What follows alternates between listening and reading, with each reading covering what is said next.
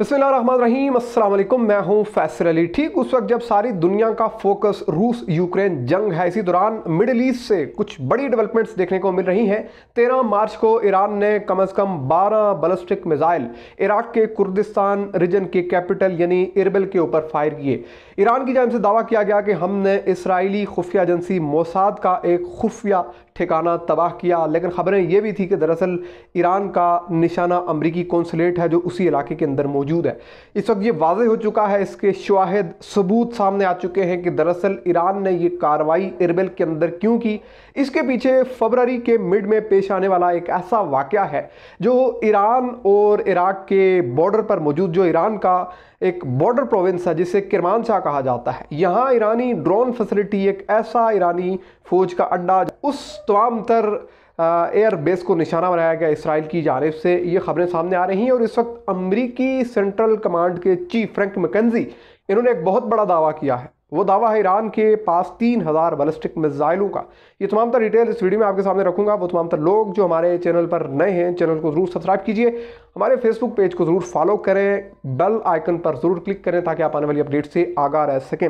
सबसे पहले आपके सामने ये वाजे करता चलूँ कि अमरीकी सेंट्रल कमांड के चीफ फ्रैंक मैकेजी जो हमेशा ही ईरान के ड्रोन्स पर, बैलिस्टिक मिसाइल्स पर और इसकी सर्वेलेंस, इंटेलिजेंस गैदरिंग और इसकी सलाहियतों पर बहुत ज़्यादा बात करते हैं। इन्होंने लास्ट वीक एक अहम तरीन दौरा किया इसराइल का। यहाँ इन्होंने इसराइली फॉरेन अफेयर्स कमेटी, जो इसराइल की पार्लियामेंट के अंदर मौजूद है, मुमकिन तौर पर वहाँ पर गुफ्तु की उन्होंने और यहाँ पर इन्होंने कुछ चीज़ें बड़ी वाजें की। इन्होंने ये कहा कि इस वक्त मिडिल ईस्ट के अंदर जो सबसे बड़ा ख़तरा है इस पूरे रीजन को, वो है ईरान का बलस्टिक मिज़ाइल प्रोग्राम, जिसकी तादाद तीन हज़ार तक पहुँच चुकी है। सिर्फ़ ईरान के पास की बलस्टिक मिज़ाइल नहीं, बल्कि इसने अपने इतिहादियों जिसमें इराक सीरिया, यमन और लबनान, इन सब तमाम तक पहुँचा चुका है ईरान, यानी अपनी टेक्नोलॉजी जो है उसको ट्रांसफ़र कर चुका है इन तमाम तर ममालिक पर। अब बहुत ही दिलचस्प चीज़ ये है कि फ्रैंक मैकेजी का ये दावा ठीक उस वक्त सामने आ रहा है जब इसराइल और ईरान के दरमियान जो तनाव है वो काफ़ी ज़्यादा बढ़ रहा है। इन्होंने एक्यूरेटली क्या स्टेटमेंट्स दी वो मैं आपके सामने रख देता हूँ, जिसमें इन्होंने ये कहा कि मिलिट्री लेवल पर मेरा सबसे बड़ा खदशा ये है कि ईरान का जोहरी प्रोग्राम इसके पास एटमी हथियार तो नहीं, लेकिन इसके पास जो बलिस्टिक मिज़ाइल्स हैं, वो बहुत ज़्यादा ख़तरनाक हैं। और इसके तीन हज़ार बलिस्टिक मिज़ाइल की सलाहियत रखते हैं कि वो तल अबीब तक पहुँच सकें। ये इन्होंने सेनेट की फॉरेन अफेयर्स की कमेटी में कहा। फिर इसके साथ इन्होंने बखूबी इस चीज़ पर अपने खदशात का इजहार किया कि अमरीकी सेंट्रल कमांड जो है, वो इस वक्त इस चीज़ से बहुत ज़्यादा उसको खदशात है कि ईरान के पास जो ड्रोन टेक्नोलॉजी है, ये ड्रोन्स काफ़ी ज़्यादा ख़तरनाक हो चुके हैं। इन ड्रोन्स की वजह से न सिर्फ़ सऊदी अरबिया और यू निशाना बने, ये वही ड्रोन्स हैं जिसकी टेक्नोलॉजी ईरान ने यमनी होस्तियों को फ्राहम की और वहाँ से अब सऊदी अरबिया और उसके साथ यूएई जो है वो निशाना बन रहे हैं। ये तमाम तर इन्होंने एतराफ़ किया इस फॉरेन अफेयर्स कमेटी के अंदर जो इसराइल की पार्लियामेंट के अंदर मौजूद है और ईरान के हवाले से यहाँ जायज़ा लिया जा रहा था। अमरीकी सेंट्रल कमांड चीफ ने बखूबी इस चीज़ का एतराफ़ किया है कि ईरान का बलस्टिक मिज़ाइल प्रोग्राम और उसके साथ इसके ड्रोन्स जिनकी सर्वेलेंस एक्यूरेसी जासूसी इलेक्ट्रॉनिक वारफेयर वार हेड को ले जाना रेंज स्पीड ये तमाम तर चीज़ें बहुत ही एक्स्ट्रा ऑर्डनरी हैं।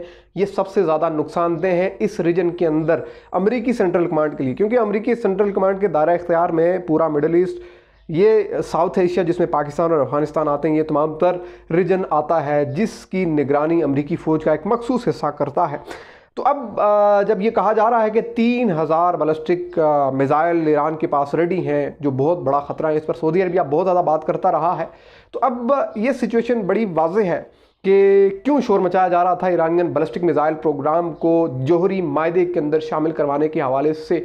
मोहम्मद बिन सलमान बार बार ये बात करते थे, गल्फ़ कॉपरेशन कौंसिल के जितने समेट से उसके अंदर। अब आ जाते हैं उस मामतर वाक़े के अंदर जो तेरह मार्च को रिपोर्ट हुआ और इस मामले के बाद बहुत ज़्यादा पैनिक क्रिएट हुआ। दरअसल रॉयटर्स ने फरवरी के मिड में खबर रिपोर्ट की थी और उसमें यह कहा गया था कि ईरान का एक ऐसा मगरबी प्रोविंस जिसको किरमान शाह कहा जाता है, यहाँ कुछ आग लगने के वाक़ात रिपोर्ट हुए हैं। ये आग लगने के वाक़ात एक ऐसी जगह रिपोर्ट हुए हैं जहाँ I R G C Iranian Revolutionary Guards Corps पासदारान इनकलाब का एक फ़ौजी अड्डा है और यहाँ पर ड्रोन्स की फैसिलिटीज़ हैं। यहाँ पर ड्रोन्स के बड़े तादाद में स्टॉक पाइल्स मौजूद हैं। बहरहाल ये अड्डा स्पेसिफिकली ईरानियन ड्रोन्स के लिए था। अब मिड ऑफ़ फरवरी में रोइटर्स ने रिपोर्ट किया कि यहाँ बहुत बड़े पैमाने पर आग के शोले बुलंद होते हुए नज़र आए किरमान शाह के इलाके में। और इसके बारे में अब ईरान ये दावा कर रहा है कि दरअसल ये कार्रवाई इसराइल ने की। ये ईरानियन ड्रोन्स के एक बहुत बड़े डिपू के ऊपर एक स्टॉक पाइल जहाँ ड्रोन्स को अगट्ठे रखा गया था, उसके ऊपर हमला था और ये हमला इसराइल ने किया था और इसके नतीजे में ईरान के ड्रोन्स को बहुत बड़ी तादाद में नुकसान हुआ।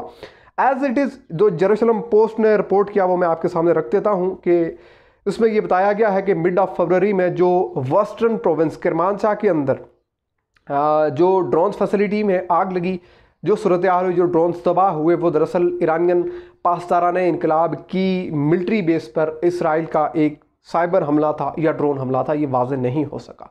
अब ये कार्रवाई होती है किरमान शाह, एक बॉर्डर प्रोविंस, जो मौजूद है कहाँ पर? अगर आप इसको नक्शे के अंदर देखें तो ये है इराक और ईरान का बॉर्डर।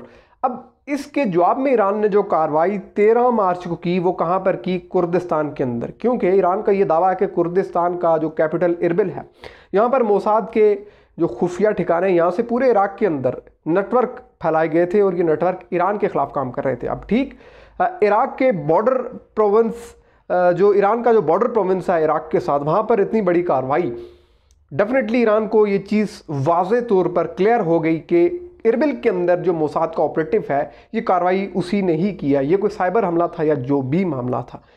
तो अब समझ आता है कि 13 मार्च को होने वाली कार्रवाई के पीछे मिड ऑफ़ फरवरी में ईरान की एक मगरबी एक ऐसी फैसिलिटी जो ड्रोन फैसिलिटी थी पासदारान इनकलाब का फौजी अड्डा उसके ऊपर हमला था, उसके जवाब में तेरह फरवरी को ईरान ने ये किया। लेकिन मामला यहाँ पर रुकता नहीं है।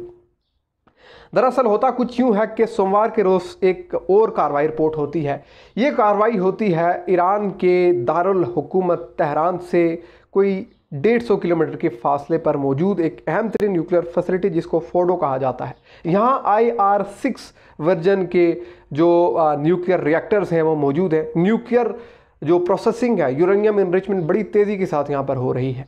यहाँ इस फैसिलिटी को उड़ाने के लिए, इसको धमाकों से उड़ाने के लिए या यहाँ साइबर हमले करने के लिए, कोई प्लॉट नस्ब करने के लिए, कोई ऐसी मनसूबाबंदी करने के लिए मोसाद ने अपने जासूस भेजे, जिन्होंने यहाँ पर मौजूद ईरानियन फ़ौज के ही कुछ लोगों को इन्फ्लुएंस किया। और ये कहा कि हम किसी गैर मुल्की कंपनी के लोग हैं और हम इस तमाम तर लोकेशन का जायज़ा लेने आए हैं। उन लोगों को ईरान की जानब से, ईरानियन इंटेलिजेंस की जानब से आइडेंटिफाई बर वक्त कर लिया गया और उनको ट्रैप के अंदर उलझा दिया गया। यानी वो जो मोसाद के एजेंट्स थे, जो दी गई हदायत के ऊपर इस फोर्डो न्यूक्लियर फैसिलिटी की इंटेलिजेंस गैदर करने के लिए ईरानियन सिक्योरिटी ऑफिशल्स के साथ एक गेम खेलना चाह रहे थे। उनके साथ गेम उल्टी होगी। आखिर वक्त तक वक्त तक उनके साथ कोऑर्डिनेशन होती रही। और आखिर में निकला ये कि वो पकड़े गए और ईरान ने ओपनली इस चीज़ को अनाउंस किया कि इसके पीछे इसराइल है। अब इसका बदला कैसे लिया गया? अब इसका बदला लिया गया मंगल और सोमवार और मंगल की दरमियानी रात को, इसराइल भर के अंदर होने वाले साइबर हमलों के नतीजे में। खबर ये सामने है कि इसराइली वजी अजम नफ्ताली बैनट, इसराइली वजारत दिफा यानी कि आई डी एफ़ और उसके साथ वजारत सेहत और इंटीरियर मिनिस्ट्री इन तमाम तर वजारतों की, टॉप के इन इदारों की वेबसाइट्स हैक की गई ईरान की जानब से। अब इसराइल इस वक्त ईरान का नाम तो नहीं ले रहा, लेकिन इंडिपेंडेंट सोर्सेज ये कोट कर रहे हैं कि ये तमाम तर सिलसिला हमलों के तसलसल में है यानी कि जो सिलसिला मिड ऑफ़ फरवरी से शुरू होता है वो आकर यहाँ साइबर अटैक्स तक पहुँच जाता है। तो अब आप अंदाज़ा कर लीजिए कि किस तरह का एक ड्रोन वारफेयर से साइबर वारफेयर तक सिलसिला चल रहा है। एक और इन, बहुत इंटरेस्टिंग चीज़ इस वक्त इसराइली मीडिया रिपोर्ट कर रहा है और ये मामला है अप्रैल 2021 का। गुजशत बरस इसराइल ये दावा कर रहा है कि उसके एफ़ थर्टी फाइव त्यारों ने ईरान के कुछ ऐसे ड्रोन्स मार गिराए थे जो गज़ा की जानब सफ़र कर रहे थे। ये बारूदी मवाद ले जा रहे थे। कुछ इनके पास मिलिट्री इक्विपमेंट था और दरअसल ईरान ये इसलिए कोशिश कर रहा था कि वो इसराइल की डिफेंस कैपेसिटीज़ चेक कर सके और ये कुछ अपडेटेड और जदीद किस्म के ड्रोन्स थे, लेकिन इसराइल के एफ़ थर्टी फाइव ने इन्हें इंटरसेप्ट कर लिया। तो ये कुछ अन अनाउंस डेवलपमेंट्स कंटिन्यूसली चल रही हैं, जो मिडिल ईस्ट के अंदर एक बड़े तनाज़े का पता दे रही हैं। फर्दर डेवलपमेंट्स आपके सामने ज़रूर रखेंगे, चैनल को ज़रूर सब्सक्राइब कीजिए, वीडियो को लाइक करें और फीडबैक कमेंट सेक्शन में ज़रूर दीजिए। अल्लाह हाफिज़।